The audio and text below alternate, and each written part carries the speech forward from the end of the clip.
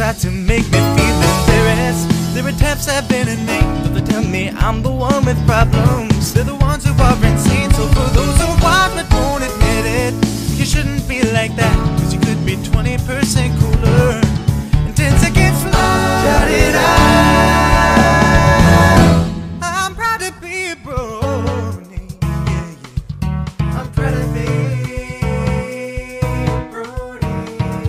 mayors and gentle colts, my fellow bronies. Welcome to I'm Brony and I'm Proud. I've got Mitchell Andrews with me. Hello, Mitchell. Hello. How's it going, man? It's going good. There's no better way. If you're going good, you're going good. So tell me, how did you become a brony? I'd first heard about bronies. My school, like a year above me, he was a brony, and that's like two or three years ago. That's when I first heard about it. Sometime around last year, I decided to see what all the fuss was about, and decided to watch one episode, and I liked it. Pretty much how I became a brony. That's fascinating. So finding out from someone a year up, and then it was sort of brewing in your subconscious, and then at the next moment, which happened probably a year later, you got into it. And I guess once you started watching one episode, it into into another, and into another, into another, and it kept going from that. Exactly like that. Yep. nice work, nice work. Okie dokie. Who is Mitchell Andrews? a 17 year old guy who lives in Brisbane. I guess I'm quite into doing drawing and doing animations and stuff like 3D animations. That's something that was brought to my attention due to one of the classes that I'm doing at school. It's ITS and it's pretty much a class about computers.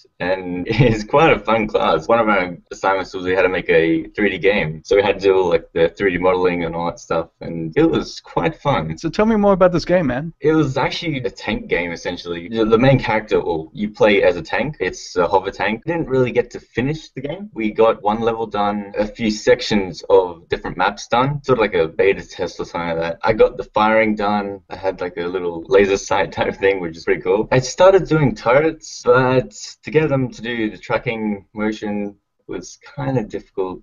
So I had them on like a scanning loop type thing. Yeah, it was me and two other friends that was working on the game. Fantastic. You actually brought up memories of me back in high school when um, it was the first few years we had a network. It was a 2D tank game, really highly addictive. Is it a side view one? I just remember it as being really simple and highly addictive. And I thought, gee, these guys are so cool. Why can't I get in on this? But yeah, I hear what you're saying about a rotating turret because it presents another complication because, yeah, like you're saying, for tracking, you gotta make sure that the turret follows the target or otherwise, if the coding's not right, then the turret would just go around in circles and, you know, Yeah. it presents a whole bunch of problems. So the fact that you found a way to simplify it is great. So, you know, you could get a development fund going. Yeah, that could work, yeah.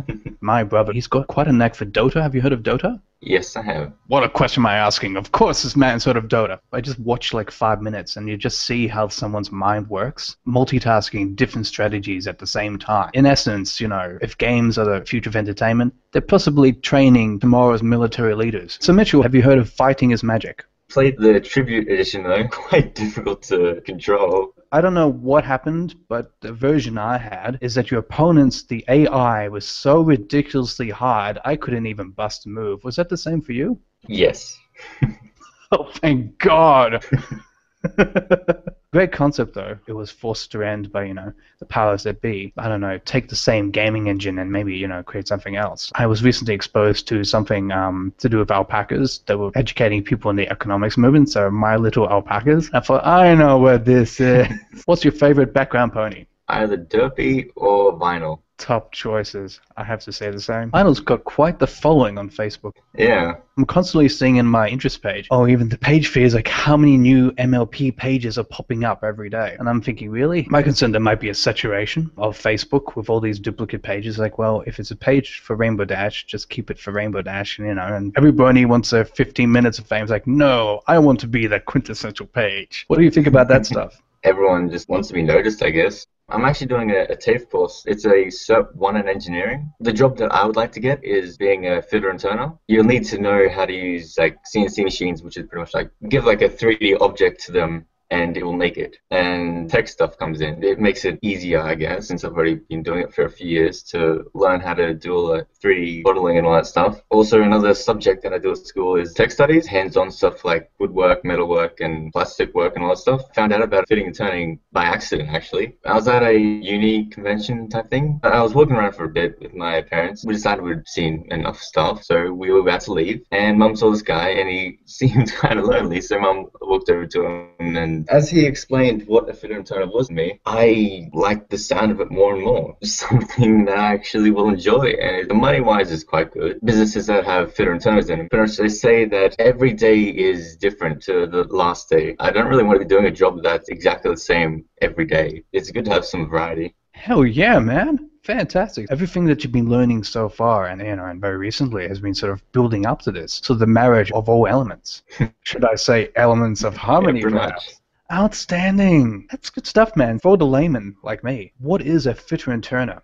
You know those trains on the back of those trucks? Yeah. When I was doing work experience, I was helping putting them together, which was quite fun. In general, a fitter and turner makes parts that you can't buy from like shops and all that. It's like an engine block or something like that. Quite amazing. Fantastic. I like what you said about variety, that you'd be doing something new every day. And that's something I enjoy and actually understand and appreciate in terms of my profession. As a filmmaker, pretty much every day is new. Fully noticed, you can now get 3D printers like 2K. If you said to someone 10 years ago, okay, you're going to be able to create your own stuff, manufacture it within your own home with relative ease. At the moment, the material is plastic for the 3D printing. In time, with developments in molecular biology, but more specifically metallurgy. So imagine, you know, metalwork at a atomic or subatomic scale and, you know, creating parts just like that. 3D printers still take ages, you know, to do anything. But Yeah. it's just the beginning. We're aware from the 70s and 80s, so many garage type businesses, you know, that turned into um, IT powerhouses. Apple for one, Microsoft for one, of course, and we all know which one won out in the end. So the 3D animation visualized within the computer, you know where it's going, and you're actually making it happen in a physical reality. Yeah. Are you Brisbane born and raised, or have you come from somewhere else? I was indeed born in Brisbane. My family had lived in Cairns. So mum was pregnant with me when she made the trip from Cairns to um, Brisbane, whereas everyone else in my family was born in Cairns. Kind of an odd one out. Fantastic. Now that's fascinating. So your parents are quite a few generations Aussie, I guess, or for me, you know, being Australian, you're generally from somewhere else down the line. Yeah, on one side of the family goes to Russia. yeah. I'm first generation Australian, actually. My parents are Polish. That blood still flows thick through my veins, I reckon. And you sort of reminding me that some of the best cinematographers come from Poland. Does it mean down the line, you know, where you're from, or where your parents are from, or where your grandparents are from? Is there almost like a genetic marker left behind that's passed on from generation to generation, being nurtured with each of those generations, and then eventually sort of evolves into something that's a part of you? What do you think about that? A good concept. I don't know. It's the old nature versus nurture argument, of course. Yeah. With nurture, whether it's you know the outside world or you know just your family unit, that tends to influence you in a certain way where you're sort of going. I like to think there's a part of you that's distinctly you coming into this world. You've almost got your own sort of mission in mind. Gradually, it either unravels quickly or it unravels slowly. For you, I think it's unraveled quite quickly. For me, it's still unraveling. I've been working as a filmmaker for over 10 years, and you can imagine how patient I am at this point.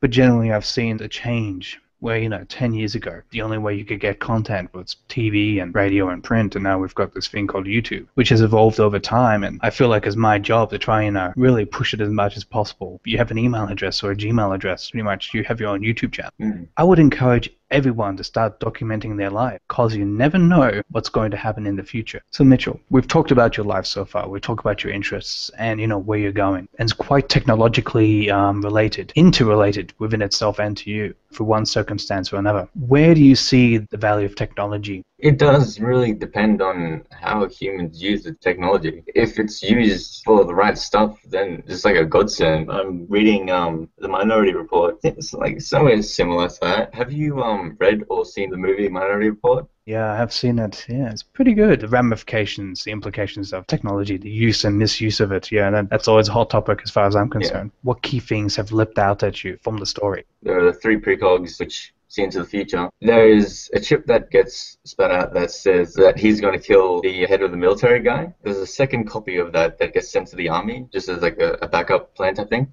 After a little while, people find out that he was going to kill this guy, even though the main guy didn't actually know the guy and was going to plan on killing him. What they didn't know was that there was a well, they might have known, but there was a um a second card that was spat that said that since main guy had read that he was going to kill this guy, he changed his mind and wasn't going to kill this guy. But the army people got rid of that. That sort of ties into the technology thing. So it's just disregarding good information, right? I guess we compare that to you know to the world as we know it at the moment, paranoid as it is, and you know we know that the world needs to be educated way more in friendship. So hence the importance of My Little Pony. I think it's got big implications for that. One thing we don't see in the show is those issues with technology. Although I've seen a fan animation where Twilight invents, or shall I say, invent a telephone and answering machine for Celestia, and in the end, Twilight just blows it up because of the obscene messages that's left by Dan. Today, we you know we use Facebook like nobody's business. Yeah. For me, with Facebook, socially, I'm organized, especially when I'm trying to get a group of friends together to do something, where it was probably a pain in the butt in the old way calling people and it's like, oh, they're coming and then they don't come, or you know, structure's great because you know who's not going and who's coming. You pretty much ignore the mice. It's like, well, you're either going or you're not. I used to have a wow, pretty good 3 CCD camera, big thing, shoulder mount works, and then I upgraded to a DSLR. Man, that was a huge difference. Going from something so mm-hmm. big to something so small. I knew that I would have to upgrade to high definition sooner or later. Just waited for technology to mature a little bit. Has it made a difference in the way I do things as a filmmaker? In a way, it has, because now I record sound and vision separately, you know, just like they've always done. A lot of the technology is quite scaled back in terms of size. And then we've got the GoPros and cameras like it are so small and you can do so much more. If technology is magic, then I say it's pretty magical.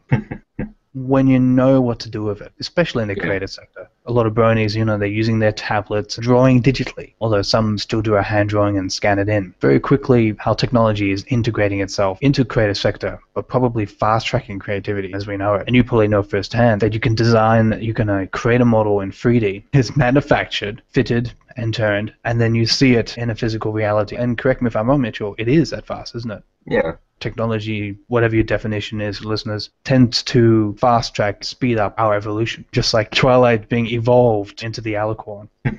but she worked hard. Saved Equestria with her friends. I mean, we could even say the elements of harmony is a form of technology, a defensive technology that is utilized by the main six. Closest thing that we see is technology in Equestria. Although, you know, when all the powers were transferred from Celestia and Luna to Twilight, that epic Dragon Ball Z battle at the end of season four. That was pretty cool. Anyone who says it's not, no, no, no, you're lying. That's just cool. It's 20% cooler because it's got freaking ponies. Indeed, it is. Well, Mitchell, thank you very much for your time. Thank you for coming on the show. Thank you for having me on the show. Good luck with your studies, man, and good luck with your career. Thank you. Catch you later. See ya. This has been I'm Brony and I'm Proud. Lucky Knight speaking. Thanks for listening. Remember to like us on Facebook and follow us on Twitter at IB AIP show. Proud to be a brony. Intro and outro by Black Griffin. My Little Pony, Friendship is Magic.